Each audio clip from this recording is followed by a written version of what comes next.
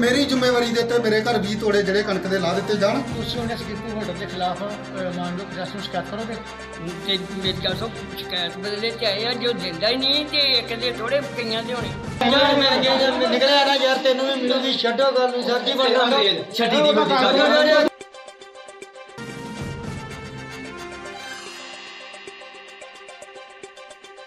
ਨਗਾਰਾ TV ਦੇਖ ਰਹੇ ਸਾਰੇ ਦਰਸ਼ਕਾਂ ਦਾ ਸਵਾਗਤ ਹੈ ਅੱਜ ਅਸੀਂ ਪਹੁੰਚੇ ਹਾਂ ਪਿੰਡ ਅਬਦਾਲ ਵਿਖੇ ਕੱਥੂ ਨਗਰ ਕਸਬਾ ਅਬਦਾਲ ਵਿਖੇ ਜਿੱਥੇ ਕਿ ਇੱਕ ਵਿਲੱਖਣ ਹੀ ਮਾਮਲਾ ਸਾਹਮਣੇ ਆਇਆ ਹੈ।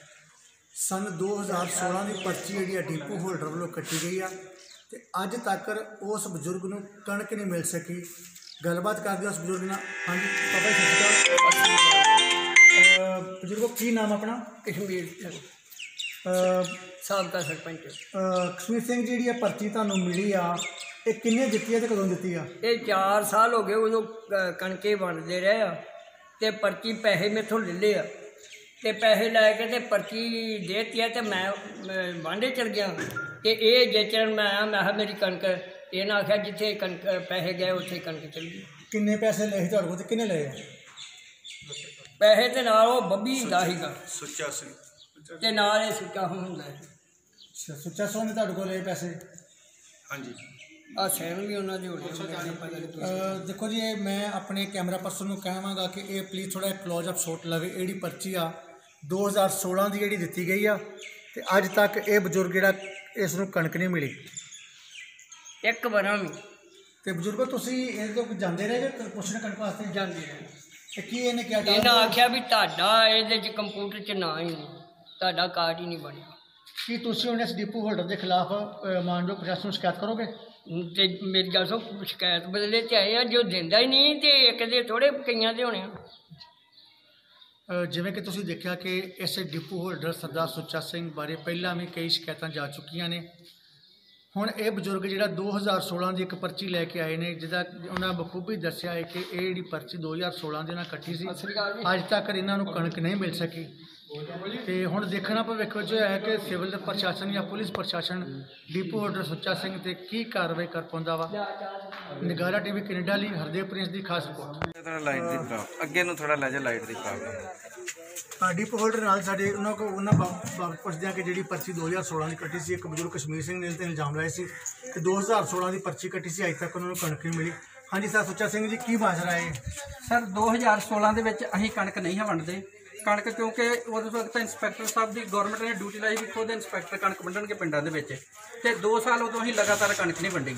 ਉਹ ਸ ਮੈਨੂੰ ਨਹੀਂ ਪਤਾ ਉਹ ਕਿੰਨੇ ਪਰਚੀ ਕੱਟੀ ਹੈ ਕਿੰਨੇ ਨਹੀਂ ਕੱਟੀ ਜੀ। ਉਸ ਟਾਈਮ ਦਾ ਸਮਾਂ ਰਿਕਾਰਡ ਕਢਾ ਕੇ ਵੇਖੋ, ਉਹ ਪਰਚੀ ਅਸੀਂ ਨਹੀਂ ਕੱਟੀ ਜੀ, ਮਤਲਬ। ਤੇ ਅਸੀਂ ਨਹੀਂ ਉਦੋਂ ਕਣਕ ਵੰਡੀ ਜੀ। ਬਾਕੀ ਰਹੀ ਗੱਲ ਸਰਪੰਚ ਸਾਹਿਬ ਜੀ ਦੀ, ਜਿਹੜੇ ਸਰਪੰਚ ਸਾਹਿਬ ਮੇਰੀ ਕੰਪਲੇਂਟ ਕਰਦੇ ਆ ਸਰਪੰਚ ਸਾਹਿਬ ਨੇ ਮੈਨੂੰ ਬੁਲਾ ਕੇ ਮੈਨੂੰ ਮਿਲ ਕੇ ਅੱਜ ਤੋਂ 2 ਦਿਨ ਪਹਿਲਾਂ ਉਹਨਾਂ ਨੇ ਕਿਹਾ ਕਿ ਅਸੀਂ ਅਸੀਂ ਸਾਰਿਆਂ ਦੇ ਦੋ ਦੋ ਤੋੜੇ ਕਣਕ ਕੱਟ ਕੇ, ਕਣਕ ਕੱਟ ਕੇ ਤੇ ਇਕੱਠੀ ਕਰਕੇ ਕਣਕ ਜਿਨ੍ਹਾਂ ਦੀ ਕਣਕ ਨਹੀਂ ਆਉਂਦੀ, ਉਹਨਾਂ ਨੂੰ ਕਣਕ ਦੇਣੀ ਆ। ਮੈਂ ਕਿਹਾ ਜੀ, ਨਹੀਂ, ਅਸੀਂ ਇਹ ਕੰਮ ਨਹੀਂ ਕਰਨਾ, ਜੋ ਗਵਰਨਮੈਂਟ ਦੀ ਹਦਾਇਤ ਆ, ਜਿਨ੍ਹਾਂ ਦੇ ਸਿਰਫ ਕਾਰਡ ਆ, ਅਸੀਂ ਸਿਰਫ ਉਹਨਾਂ ਨੂੰ ਹੀ ਕਾਰਡ ਦੇਣੇ ਆ, ਉਹਨਾਂ ਨੂੰ ਹੀ ਕਣਕ ਦੇਣੀ ਆ। ਔਰ ਦੂਸਰੇ ਬੰਦੇ ਨੂੰ ਕਣਕ ਨਹੀਂ ਦੇਣੀ। ਸਰਪੰਚ ਸਾਹਿਬ ਇਸ ਗੱਲ ਤੋਂ ਮੇਰੀ ਤੋਂ ਖਫਾ ਹੋ ਗਏ ਕਿ ਮੈਨੂੰ ਇੰਨੇ ਜਿਹੜੇ ਕਣਕ ਦੇ ਤੋੜੇ ਆ ਇਹ ਲੋਕਾਂ ਨੂੰ ਮੈਂ ਦੇਣ ਵਾਸਤੇ ਦਿਓ ਜਿਨ੍ਹਾਂ ਦੇ ਕਾਰਡ ਨਹੀਂ ਹੈਗੇ। ਮੈਂ ਕਿਹਾ ਜੀ ਮੈਂ ਇਹ ਕਣਕ ਨਹੀਂ ਦੇ ਸਕਦਾ। ਸਿਰਫ ਇਹ ਜਿਹੜੀ ਕਣਕ ਆ ਇਹ ਉਹਨਾਂ ਨੂੰ ਹੀ ਦੇਣੀ ਆ ਜਿਨ੍ਹਾਂ ਦੇ ਕਾਰਡ ਆ ਮਤਲਬ। ਸਾਰੀ ਜੇ ਗੱਲ ਕਰੀਏ ਕਸ਼ਮੀਰ ਸਿੰਘ ਜੀ ਉਹਨਾਂ ਨੇ ਤੁਹਾਡਾ ਨਾਮ ਲਿਆ ਪਾਈ ਨੇ ਇੱਕ ਬੱਬੀ ਨਾਂ ਦਾ ਬੰਦਾ ਉਹ ਕੌਣ ਨੇ? ਸਰ ਬੱਬੀ ਨਾਂ ਦਾ ਬੰਦਾ ਜਿਹੜਾ ਉਹ ਉਹਨਾਂ ਦਾ ਇੰਸਪੈਕਟਰ ਸਾਹਿਬ ਦਾ ਅਸਿਸਟੈਂਟ ਹੈ ਉਸ ਵੇਲੇ ਦੇ ਇੰਸਪੈਕਟਰ ਸਾਹਿਬ ਦਾ ਜੀ। ਉਹ ਸਰਕਾਰੀ ਗਵਰਨਮੈਂਟ ਅਧਿਕਾਰੀ ਆ ਉਹ? ਨਹੀਂ ਜੀ ਨਹੀਂ ਉਹ ਪ੍ਰਾਈਵੇਟ ਹੈ ਜੀ ਉਹਦੀ ਕਰਿਆਨੇ ਦੀ ਦੁਕਾਨ ਹੈ ਜੈਂਤੀਪੁਰ ਜੀ ਮਤਲਬ ਜੀ। ਆਪਾਂ ਨੂੰ ਕੀ ਅਧਿਕਾਰ ਹੈ ਕਿ ਪ੍ਰਾਈਵੇਟ ਬੰਦੇ ਨੂੰ ਆਪਾਂ ਮੈਂ ਨਾਲ ਮੈਂ ਸਰਕਾਰ ਅਧਿਕਾਰ ਕਰਦੇ ਨਹੀਂ ਹਾਂ। ਮੈਂ ਅਧਿਕਾਰ ਨਹੀਂ ਦਿੱਤਾ ਜੀ ਉਹ ਅਧਿਕਾਰ ਦਿੱਤਾ ਉਹਨੇ ਅਹ, ਇੰਸਪੈਕਟਰ ਨੇ ਜੀ।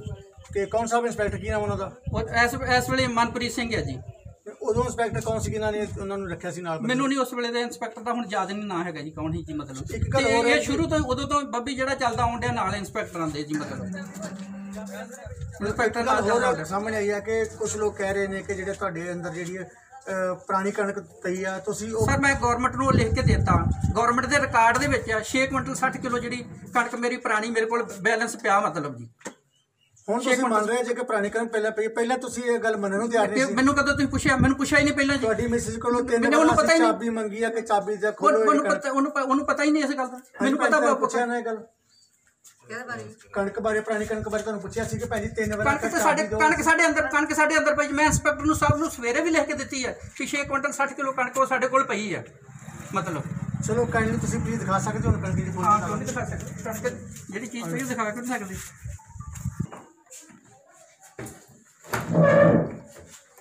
ਮੈਂ ਕੋਲ ਤੱਕ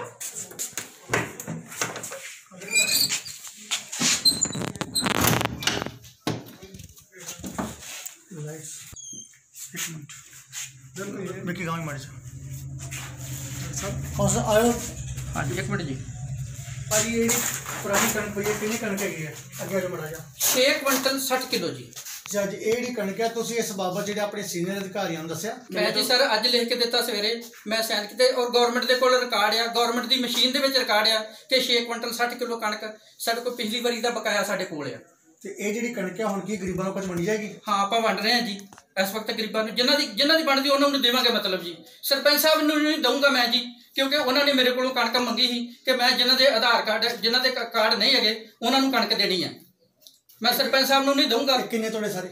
ਇਹ ਟ- ਅ, ਅ, ਹੁਣ ਮੇਰੀ ਇਸ ਵੇਲੇ ਤੇ ਗਿਣਤੀ ਤੋਂ ਬਾਹਰ ਹੈ ਮਤਲਬ ਜੀ।